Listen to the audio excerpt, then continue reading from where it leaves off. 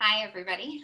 My name is Maria Vandenburg, and I just wanted to take a second to talk you guys through Crown Jewels and what this series is, um, and just give you a flavor of, of what it's all about.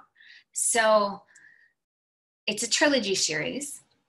The first book is called Crown Jewels, The Akasha Records. The second book is called Crown Jewels, The Royal Heart. And the third book um, will be completed soon. So, Crown Jewels, The Akasha Records, revolves around the concept that we all have um, these beings called our shadows that we can interact with.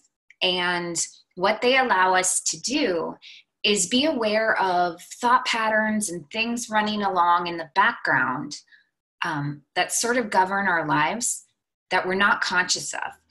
And they help us to work through these things and integrate these things and be consciously aware of these things to step into and love all of who we are. So, book one brings us back to Gibraltar, 1073 AD, and we enter the world of Akasha.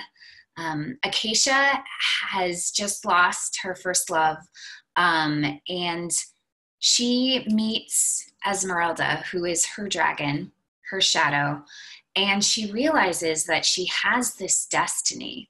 Um, she has this this mission that she needs to accomplish to bridge the divide that exists between the world of light and dark. Um, she has a little sister named Sophia, um, and she meets and falls in love with her um, divine match, uh, a guy named Tariq. Tariq's shadow is Leo the lion. Um, and through the work that they both do, uh, Akasha getting to know her own shadow, Esmeralda, and Tariq working with his shadow, Leo the lion, um, they're able to manifest the crown jewels so Akasha finds the crown, and Tariq um, finds the ring of infinite wisdom. And what these jewels do is allow you to travel through time and space, but they can only be used by the two of the royal heart, which is explained more in book two. So, book one uh, involves Akasha meeting her own shadow, embracing her, learning to love and embrace all of who she is, um, falling in love with Tariq. Tariq doing the same thing, um, working with his own shadow. Together, they realize they have this destiny together to bridge the divide.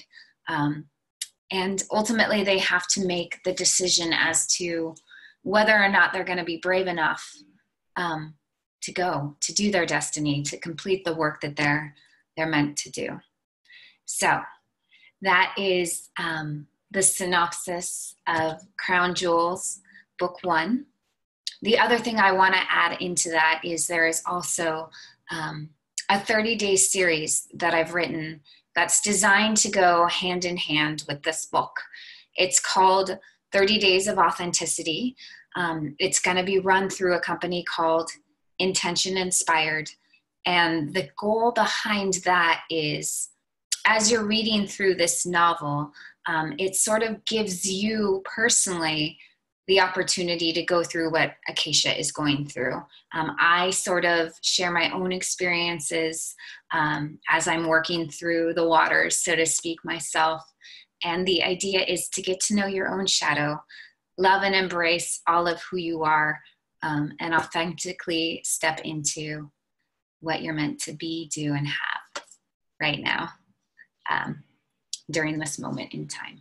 So that is Crown Jewels, high level overview of 30 days of authenticity.